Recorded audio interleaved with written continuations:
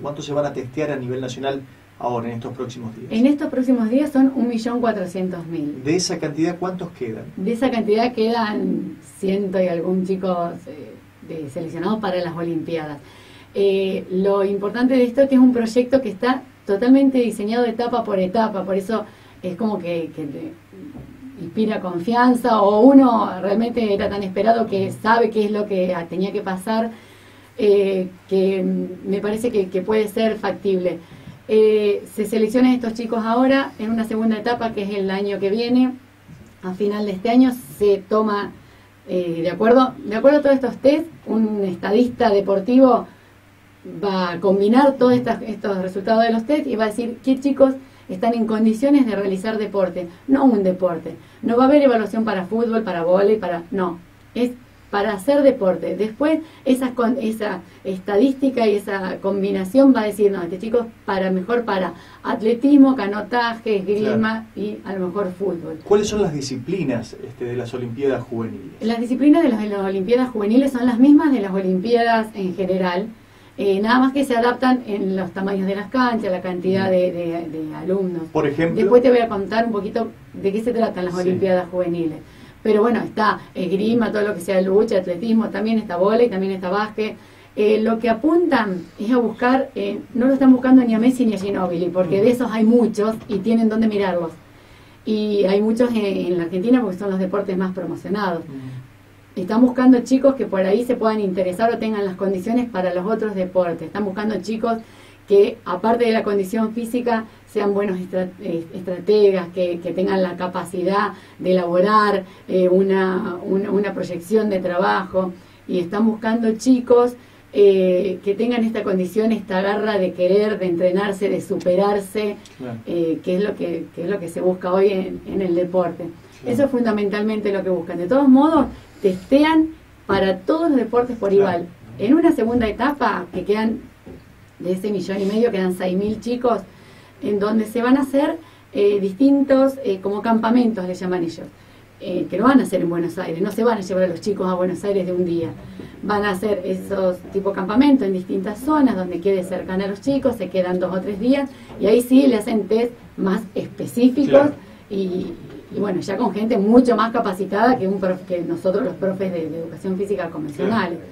A partir de ahí se vuelve a hacer otra selección donde hace otra vez un encuentro y hasta llegar al equipo olímpico del 2018. Lo que se va a hacer con estos chicos que queden seleccionados dentro de estos eh, 2.000 que van a quedar en una tercera etapa, eh, no va a ser eh, que los van a llevar a Buenos Aires a practicar, no van a ir al CENAR eh, van a ser centros de desarrollo. Por ejemplo, hay muchos chicos acá en la zona de por acá, eh, pueden armar un centro de desarrollo en San Carlos.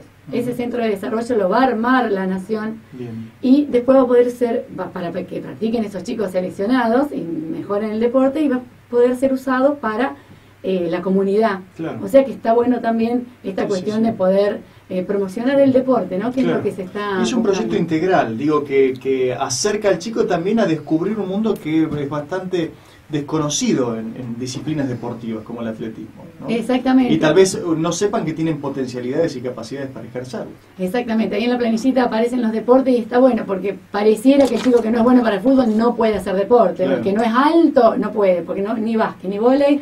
Entonces el chico petizo o con otras condiciones no podría hacer deporte. Sin embargo, eh, reúnen, o sea, reúnen las condiciones, sí, quizás no, si mide un metro cincuenta no para jugar al vóley, pero sí un excelente lanzador de bala, o, o, para canotasco, para esgrima, o para, según las condiciones para cada uno, se necesitan cuestiones distintas y por ahí no es únicamente lo físico lo que se ve, sino bueno, eh, el tema de los desplazamientos, de la explosión, de la reacción.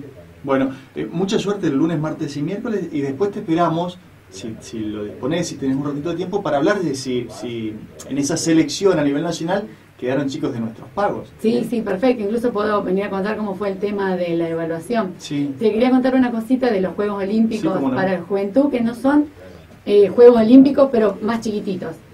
Son los mismos deportes, lo que pasa que tiene como una cuestión diferente. En el medio de la competencia, que no puede ser mayor a 12 días, hay actividades culturales, que se, eh, que se relacionan entre ellos, entre las culturas de los que están participando, actividades eh, educativas, actividades de integración. eh, no se tiene en cuenta un medallero. Sí, hay ganadores y, primero, segundo y tercer puesto, pero no hay un medallero por país.